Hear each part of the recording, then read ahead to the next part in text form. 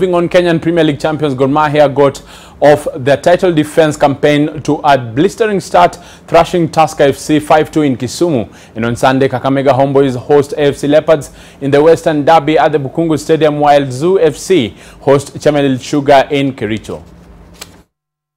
Gor Mahia got off to a perfect start, humiliating 2016 champions Tusker FC 5-2 in front of a packed Moi Stadium in Kisumu. Captain Kenneth Muguna scored twice with Boniface Omondi, Nicholas Kipkirui and Charles Momanyi each netting a goal. Boniface Muchiri scored both of the Brewers' goals. In the early kickoff at the same venue, Ulinzi Stars gunned down newcomers Kisumu All-Stars 2-0, courtesy of two second-half goals by Ochieng. At the Awendo Green Stadium, KCB ensured they banked maximum points away in their league opener after thrashing hosts Sony Sugar 3-0.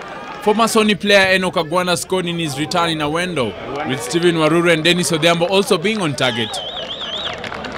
nzoya Nzoia Sugar held high-spanning league returnees Wazito FC to a 1-0 draw at the Kenyatta Stadium in Machakos. Collins Wakungu's 54th minute goal was cancelled out by Elvis Rupia's spot kick in the 69th minute. Akitia kambani goli lake la kwanza la kufungua. This is Madara United and Bandari FC played out a barren draw at the Ruaraka grounds. Mwajiri wake wa hapo awali ukiwaangalia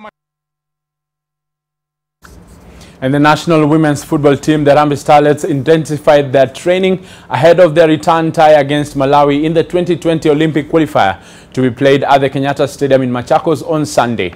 The match is set to be played behind closed doors, courtesy of an order from CAF. Malawi also had a feel of the Kenyatta Stadium this afternoon, and the Starlets who returned to residential camp in Machakos upon arrival from Malawi will be hoping to take advantage of their away goals after going down 3-2 in the first leg in Blantyre. Should Starlets win over Malawi, they will face either of, the, of Ghana or Gabon in the third round of the qualifiers.